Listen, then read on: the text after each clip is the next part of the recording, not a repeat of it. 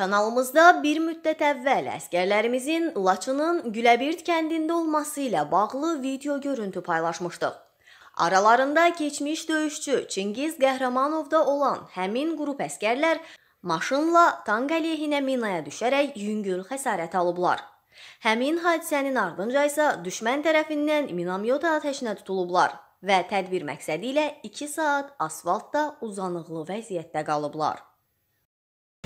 Hə, Rəşqa. Deməli Güləbirdə girmək içəridə qeyd elədik. Amma minaya düşdük, maşınımız minaya düşdü. Bir balaca yüngül də olsa yaralandı qardaşlarla. Allah şükür ki, yaxşı qutardıq. Yüngül olduq amma Hələ iki tankova Çox minət şükür. düşüb. çox şükür ki, yaxşı qutardıq. SPD, Şükür, şükür, şükür dostlar, şükür. Allah qorudu yenə ayağımdan, sol ayağımdan yaralandım. Amma şükür salamat qaldı. Maşınımız cilik-cilik getdi. Oh. Oh.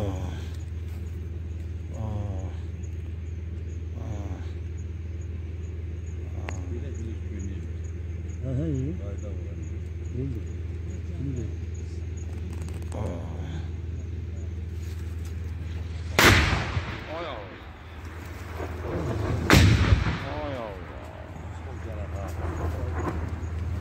Ay uğraşan çəkir, o da çəkir bizdən, nə heç. Bu texnikanı buraya gələr komandır. Biz bunu bura düz meşəyə gətirmişik. Vallahi billahi. Hay. Aşağı düz bölümdə düşdü.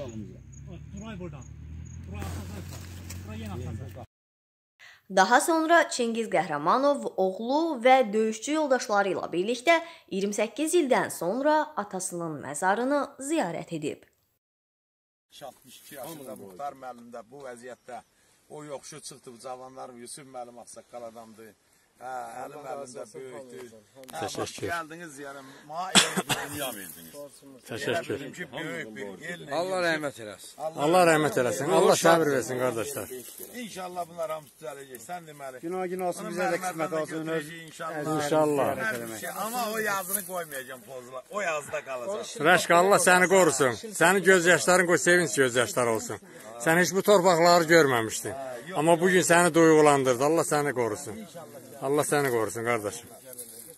Hə, oldu eləyərəm onu. Onu eləyərəm. Görə indi bizə nə xəbər gəldi. Onu belə eləyərəm. Hə, lay sana bir şükür. Lay Günah sağ günah